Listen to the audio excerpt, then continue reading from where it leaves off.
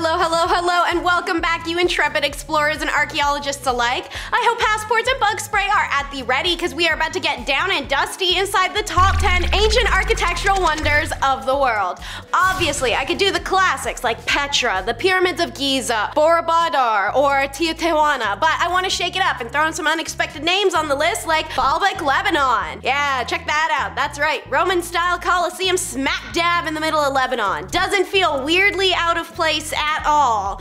The Greeks and the Romans called it Heliopolis, the city of the sun, no relation to the other Heliopolis classic city in Egypt. Alright, so this bad boy, in the words of Robert Byron, dwarfs New York into a home of ants with its awe-inspiring temples, porticos, courtyards, and palatial stone stairways. One temple, that of Jupiter, catches the most attention because there was definitely some kind of previous temple built here before the Romans and the Greeks Jupitered it all up. Likely by the Phoenicians, but the incredibly massive stones used for the foundation are baffling to archaeologists. The blocks are the largest man-made ever known to the world history and weigh anything from 800 to 1500 tons each, depending on whose calculated estimates you trust. Either way, it's heavy as hell. How and why these unnecessary, gigantic, and cumbersome blocks were cut and used is still unknown, and why this construction was so uniquely and equally mysterious. Most baffling of all is why there is no written or even oral records why the Romans or the Phoenicians even built this singular site, unlike so many others. Apartment buildings. We've been building and living in these bad boys since the literal dawn of time, and the national monument Montezuma Castle in the USA is proof. President Roosevelt declared this ancient five-story apartment complex one of America's first national monuments, located inside Camp Verde,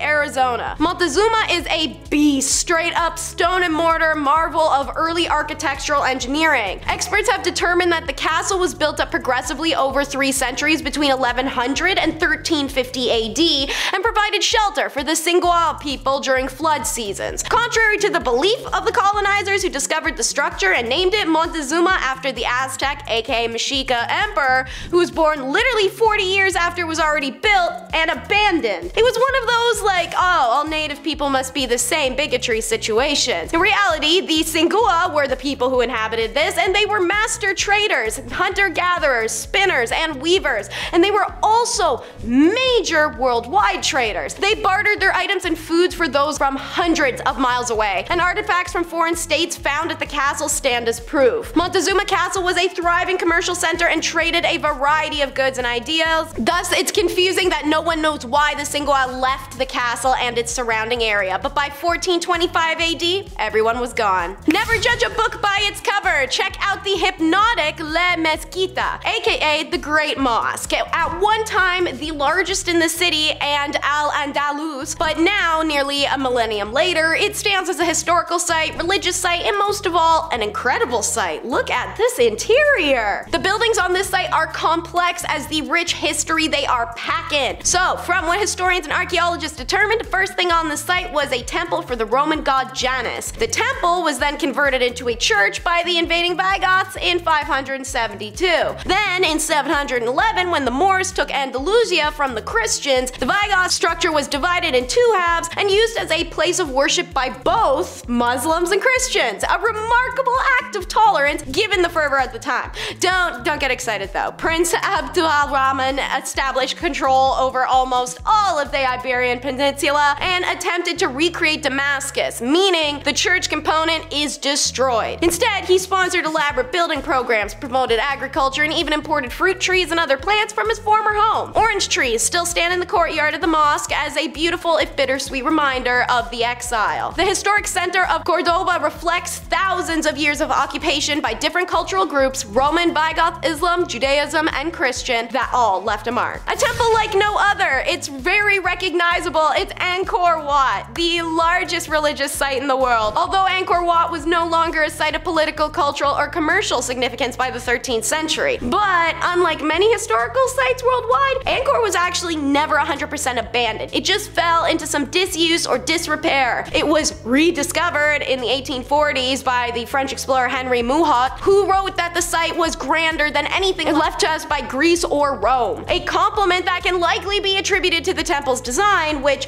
is supposed to represent the home of the Hindu and Buddhist gods Mount Meru. The temple temple was constructed in the early 12th century by the Khmer king Suryavarman II as a dedication to the god Vishnu. However, in legend, many believe the temple's construction was ordered by the god Indra, and the work was accomplished in one night. Taking a look at it here, mm, I don't know, it could be giving instant dream home energy. Maybe it was like IKEA furniture, you just pop it all together, little pieces, boom, done, fast like that. Although it's no longer an active temple, it serves as an important tourist attraction in Cambodia despite the fact it sustained significant damage during the autocratic rule of the Khmer Rouge regime in the 1970s and the earlier regional conflicts. Angkor is so integral to Cambodian identity, it appears on their national flag. Now we scoot over to Cusco and we check out these eerily perfect rocks, the Sacsayhuaman of northern Peru. The monumental three-story site dates back to around 1100 BC, with some early sections believed to have been built by the Killke, but it's the Inca-built walls of the 13th century that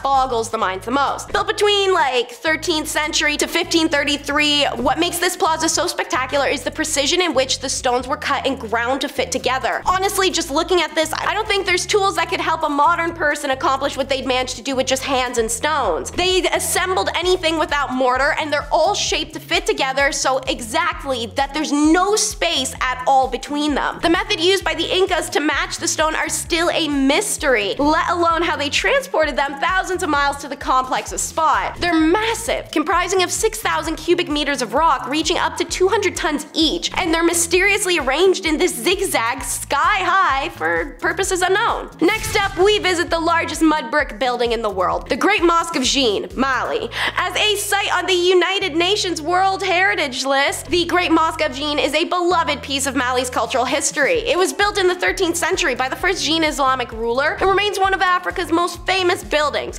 52 feet high, this bad boy and its surrounding old towns of Djenné were slapped with the UNESCO World Heritage Site stamp of approval in 1988. Djenné was founded between 800 and 1250 CE. It was an essential stop in the trans-Saharan gold trade and a significant city to the Mali Empire, the Songhai Empire, and the Tukulur Empire. So that's three for three. Makes sense that King Koi Komboro puts a big old mosque in the center. The Great Mosque then became a center of cultural life and religion, particularly in Islam, with thousands of students studying the Quran. After Djenné is conquered in 1819, the semi-destroyed and pillaged city and mosque are left rot until it's once again replaced in 1836 for the third and final time and is completed by 1907. The only original part of the mosque that remains is a small building that houses the graves of local leaders. The world has had a great many things carved out of its stony peaks, but I'd say there is none more impressive than the Leshan giant Buddha of China. Okay, well, maybe the Buddhas of Afghanistan before they were dubbed false gods and well, um, well, you know what happened to them. Hilariously, if you haven't heard, recently the twits who did that are so broke they're now selling tickets to go see the demolished rubble of where those Buddhas once stood.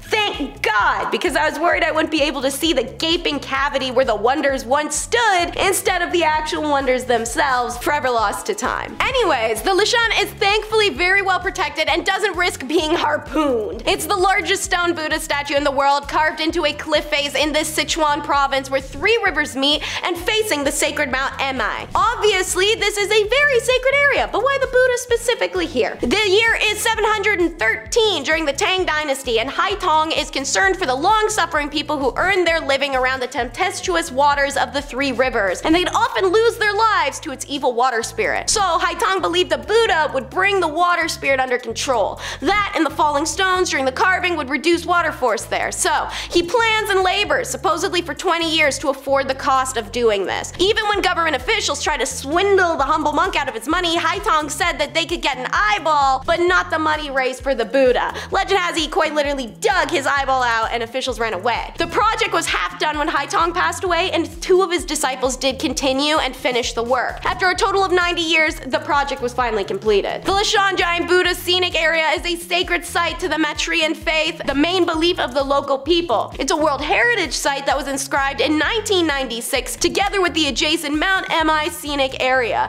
At the present, the maintenance work is under progress and under instruction of experts from UNESCO. Get ready for some ancient alien crap. This time it's Puma Punku Bolivia, meaning the door of the puma, which is beyond metal. As far as archaeologists know, Puma Punku was a thriving ancient town originating somewhere around 500-600 CE, and its existence causes nothing but a headache and confusion for researchers researchers. Pumapunku is displaying a level of craftsmanship that was largely unparalleled in pre-Columbian New World, and it's often considered the architectural peak of the Andean lithic technology. There are stone slabs that weigh 131 metric tons, somehow carried uphill and locked together, all Inca jigsaw style.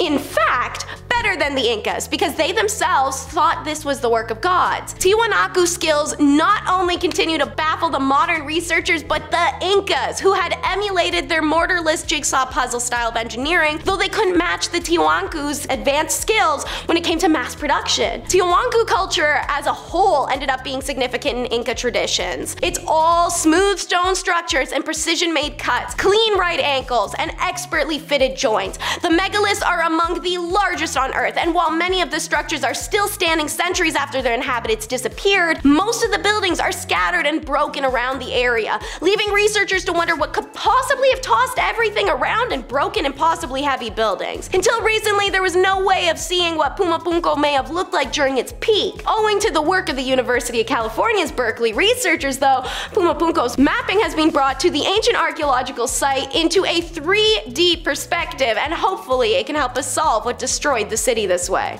Okay, okay, next we have the colorful, world-renowned Meenakshi Sundareswarar Temple of India. This castle is dedicated to the fish-eyed goddess and her loving consort, whom the temple is named after. It is 46 meters pure, chaotic, anarchic jumble of deities, demons, warriors, curvaceous maidens, potbelly dwarves, and sprites. In all such cartoonishly bright colors, it can't be called anything less than magnificent. Meenakshi Amman Temple is one of the oldest and most important temples in India. It's believed that the Lord Shiva assumed the position of Sundar Sarwar and married Pavarti, aka Meenakshi at the site where the temple is currently located. Meenakshi emerged out of a yajna as a gift from the Lord Shiva to answer the king's prayer for an heir. Yet a triple deed girl emerged from the sacred fire, not a son. So when the king and his wife expressed concern over the girl's, you know, abnormal appearance, a divine voice ordered them not to fret over her looks. They also informed her that the girl's third Biddy will disappear as soon as she meets her future husband. They'll be fine. Meenakshi went on to be a total badass woman and just trash everyone in her way, including like the Lord Indra. And she was on her way to capture Kailash, where the abode of Lord Shiva as well. When Shiva appears before her, her third D finally disappears. She had met her better half. Instead of conquer ship, the two found love. And Shiva and Meenakshi returned to Madurai, where they had their wedding on the place of what's now the temple. And now the last, and but never the least, and quite certainly the beast, underground churches of Lalibela, Ethiopia. 11 churches, each carved out of a singular red stone. Oh yeah, these babies are top of the list for a reason. Some 645 kilometers from Addis Ababa, the monolithic churches are attributed to King Lalibela, who set out to construct what was deemed a new Jerusalem in the face of Christian pilgrimages to the Holy Land being halted by Muslim conquests. There's some dispute between historians about Ethiopians or Armenia being the first country to convert to Christianity, but the edge probably goes to Ethiopia and King Lali, which was then called Abyssinia. What really gets me is how they're all connected via underground tunnels, but also their positioning. The roofs of the churches are at ground level. They're all underground to make use of natural aquifers. Together, they form a pilgrimage site with particular spiritual and symbolic value, with the layout representing the holy city of Jerusalem. Seeing as Lalibela reigned from 1181 to 1221, but the churches he built are still in use today, and attract about 100,000 visitors per year, many of whom make that pilgrimage on foot, one could argue that yeah, the king was successful in making a new Jerusalem. Even between prayer sessions, the churches are never empty. Elderly worshippers find it easier to stay nearby than negotiate the precarious paths. When UNESCO World Heritage Site program began in 1978, the rock-hewn churches of Lalibela were one of the inspirations to even start it, and one of the first 12 sites to be protected by the UN. Alrighty, thank you so much for watching. I hope you enjoyed. Be sure to like and subscribe, and until next time, be sure to comment some love down below.